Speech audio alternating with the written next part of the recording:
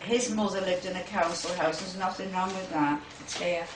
Okay. But what he said was, um, we agree with him. Uh, I could see the attitude that affordable housing and the people who live in it are like a bad smell to some. We've had that, and Mhm. we know. We've had noses in the air when we've tried to speak to certain people. Uh, but that, that in particular, Let's have a look. That was how we feel. Oh, so this is in response to Cameron's you may not have life tenancy. Yeah. Yeah.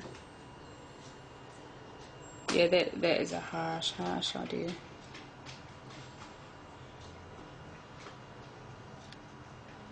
Hmm.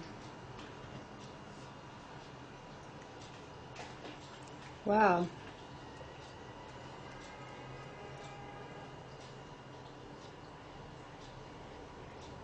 He's very strong in his opinion.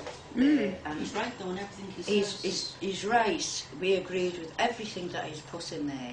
That's how we feel. Okay. So you think you do face a bias being council tenants? Oh yes, that's tenants, yeah. And I'll tell you Yeah, there's something. councils Grant concerned, Shapps is biased against council tenants because we've met him as well. He's a waste of space. Yeah, Who's that? Grant Shapps. Oh, God, is he around here? minister. We No, met Oh, him. right. Yeah, okay. You've met him, have you? Yeah, Yeah. we met him. Yeah, on the campaign trail. He doesn't believe in um, council tenancy. He, he thinks his opinions are everybody should be on the housing ladder. But not everybody wants to be on the housing ladder. No. There's Was nothing wrong being a council tenant. Hmm. But in And- his eyes, there is. Well, we wanted to rent. Yeah. We thought about buying. Oh, a long time ago. We thought about buying this. Talked about buying, we talked about buying this for the, for our sons. Mm -hmm. And the parents have turned around and says, we're not interested in your house, Dad. Keep your money. We're stuck there. They're not mm. interested in the house.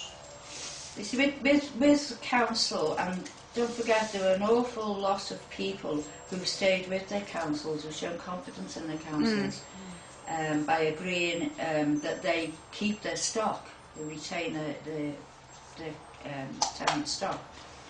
And this was one of the places that did say show confidence in the council, and the council seemed to be pleased about that.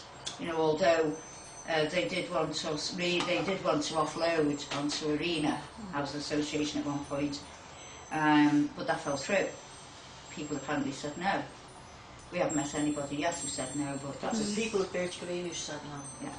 But the, um, with the council, I'm sure eventually they've gotten any jobs done, Ted.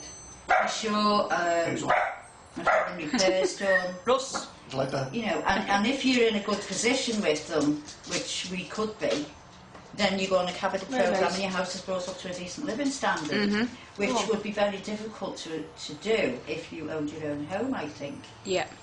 I mean, a lot of people are, are able to buy property, do it up and sell it on.